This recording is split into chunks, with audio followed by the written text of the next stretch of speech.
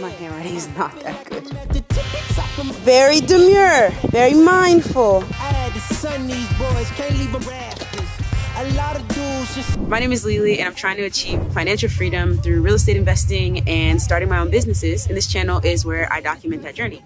So today you're gonna come with me as we go check out an Airbnb that had its first ever guest last night. So we're gonna go check and see how they left the place. And then in the last vlog, we were cleaning out and getting the first round of furnishings in a property that was completely trashed by a long-term tenant. So now we're putting that on Airbnb to see if it's a better experience. We spent about $850 yesterday on that first round of furnishings, and we have a couple more things to finish up.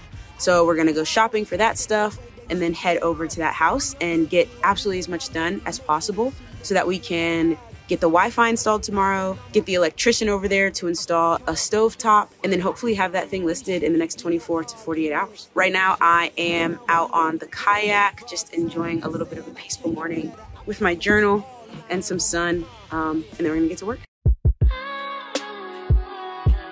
Yeah.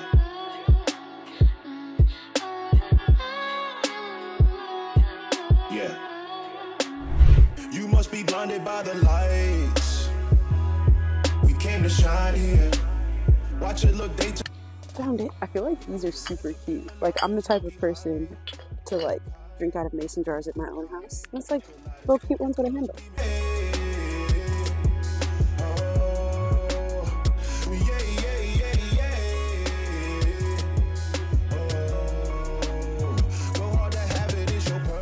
All right, we had our first ever guest at this Airbnb last night. So they were only here for one night and let's see how they left it.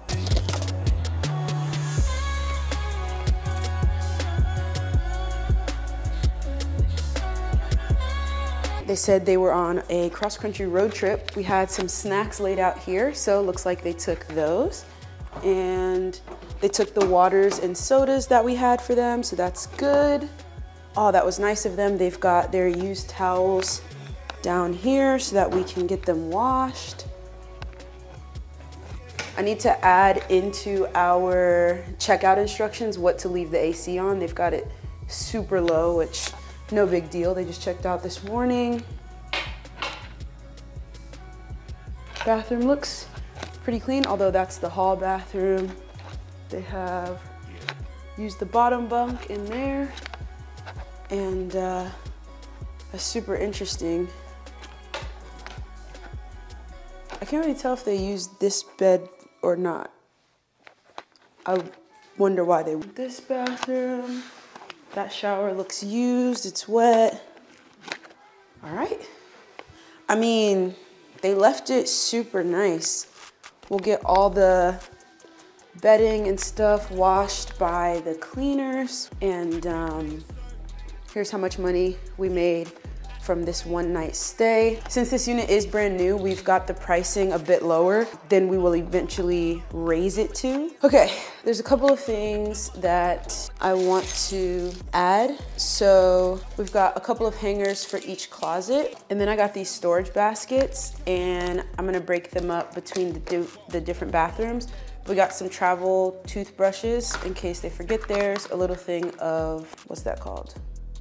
Toothpaste, some Q-tips, some cotton balls, and then like just some sanitary products, you know, like pads and tampons in case they forgot theirs. I think there's definitely a risk of like, will people just steal what's there? Like, will, will somebody take the toothbrush even if they don't need it? I think that's definitely a risk, but I think there's also like, in Airbnb, your reviews are everything. And so that risk I'm trying to balance against will someone who like really needs that thing and if it is here when they're here, will they like be that much more inclined to leave a great review because we provided that for them. So we'll see. Then I also got this cute little like standing whiteboard. I'm gonna write like the welcome, I'm gonna write the Wi-Fi information as well as a note to enjoy the snacks and the cold drinks in the fridge and that five-star reviews are our goal.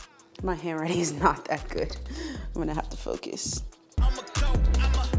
All right, my handwriting is perfect, but I think that is a pretty good start and a good welcome. I'm really interested to see where these Airbnbs take me. I've tried out a lot of different real estate investing strategies, I started with house hacking my duplex, where I live in one unit and rent out the other. And then I went to wholesaling to build up my capital. Then I started keeping those properties that I was finding, and instead of wholesaling them, I used the BRRRR method to renovate them and keep them as rentals. And I've kind of been chilling with like 10 short-term rentals or 10 long-term rentals for the last like year and a half or so. As interest rates went up, I just held on to my rentals and, and kept them as I had them. As I turn more properties into Airbnbs, I can just, you know, take those to them. But as I got this property, which was always intended to be an Airbnb. We had a bad experience with a tenant in one of our garage apartments. And I was asking you guys like, what do you think I should do with it? Should I short-term rent it? Try to find another tenant? That rent is $700 a month. And because it's a, it's a garage apartment, it, it feels super easy to furnish, right? You don't need a lot of furniture to furnish a garage apartment. And so now I have like all these Airbnbs coming online. I'm super interested to see what happens with them. I actually have another garage apartment that a tenant just moved out of. And so now I'm like, okay, do we get another tenant in there? Do we Airbnb that? And it's a strong belief of mine that like real estate investing is about being able to use multiple exit strategies, right? Like wholesaling is just one thing to do with a property. Using the BRRRR strategy, just one thing. House hacking it, Airbnbing it, Airbnb arbitrage, these are all just exit strategies. So I'm excited to show you guys a new one on this channel. The cleaner will be through here shortly and then we're gonna head to the other Airbnb and get that one to like 98% furnished and ready to go. So it looks like my parents are already here. Yesterday we did a ton of work. We cleaned up the place as well as moved in the first round of furnishings. This is the main house. It's also empty and I'm thinking about putting it on Airbnb, but I'm getting this one up ASAP. And this is the garage apartment in the back. So yeah, let's check and see, but I think they're here. Hello. Hello. What it do?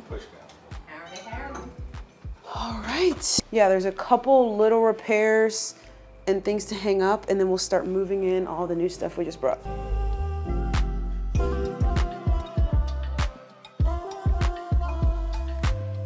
When we first got the, this property, that garage apartment was an absolute mess. Like you couldn't even get to the backyard because it was so overgrown and just like pretty much completely abandoned. And like we did pretty much everything in that back house ourselves. We let the professionals do the front house. They did a great job. But like in the back house, me and my dad did the, my mom too. We did the flooring, we did the drywall, we did the tile. We didn't do the windows. We had somebody come do the windows so that like the exterior be fine. We did the countertops, we painted, like we did pretty much everything cosmetic except for plumbing, electrical, and then exterior. And it's disappointing to see like how trashed the guy left it, but it's also encouraging to like still own an asset that I could have just rented back out on long term for 700 a month, but now we're gonna see what happens on short term. And um, yeah, it's just exciting to like own something that's an asset, even if something goes wrong. It's like, it's not the end of the world because we still own the asset itself. Does that make sense? All I hear, go get the money. So I go get it. Get it, get it. Hate means I do something right. right. So I'ma let him. Yeah, I'ma let hit the nail on the head. Yeah, yeah, I'ma let him. All I hear, go get the money. So I go. Yeah, also, we made and painted these shutters and installed them on the house. Just as a little extra touch. I think you over tighten that. Because it bent? Wait, wait, the mic didn't catch that. What'd you say? You right, you right. He said I'm right, y'all. Ah, I was gonna say, don't get me. Did I get you? No, you didn't. I missed you? You missed me because I seen you coming. Can you move? move? Now it's in there now. All the way. Dad, you see how I didn't over tighten that? Very demure, very mindful. You don't know what that means, do you? No, it don't matter. As long as you tight. I ain't about y'all leeches. All I hear, go get the money. So I go get it.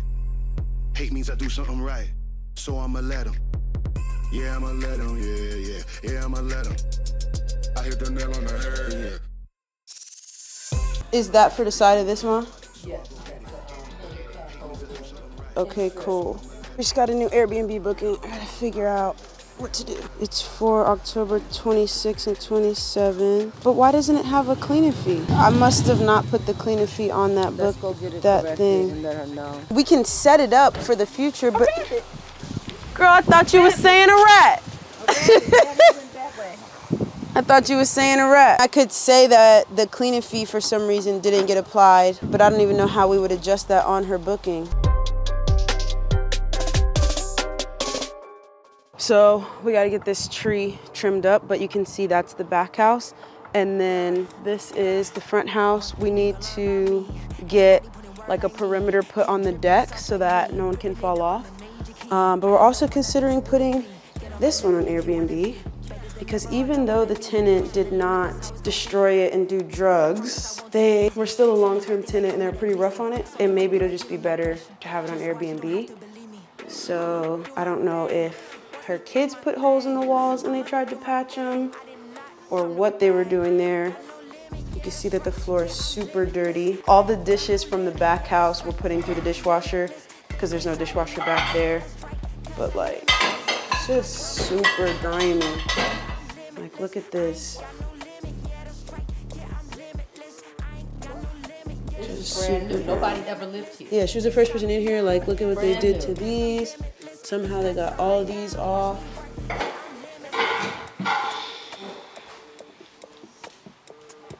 The ceiling fan is not only disgusting, but they broke that blade. You can see it's like up at a weird angle. I don't know what the heck they were doing to the front door. My dad's the only one brave enough to open the fridge. I think one of the boys cleaned it out. Ah! Oh my gosh! Water. I thought the bugs were moving. I thought they were running. My bad, my bad. Yeah, they're dead. Ugh! Hold on. Okay, well now. We've got the living room area all set up. Tomorrow we need to clean the bathroom. And then transitioning into the bedroom area. All the sheets and blankets and towels are being washed, so those will be on this. We'll get the bed made and the art hung up. We got that. The fridge needs to get cleaned out. And that's just trash. That'll get out of here. Kitchen area. Um, this new one is getting installed tomorrow. All the dishes will get set up and countertop cleared. So it's looking way, way, way, way, way better than it did before. And I was a little ambitious to say that we would get it completely done today, um, especially because we don't have the bed frame and a couple of other little things. But I would say we're like 90% of the way there. Wi-Fi gets installed tomorrow. We'll install some more lighting outdoors. Um, and then we should be done. And we'll paint, repaint the shutters a little bit. All right, drop your questions for me in the comments. If you haven't already seen part one of this video or the vlog where you see how the tenant left it when he went to jail, I'll link those right here as well as down below. And uh, see you in the next one.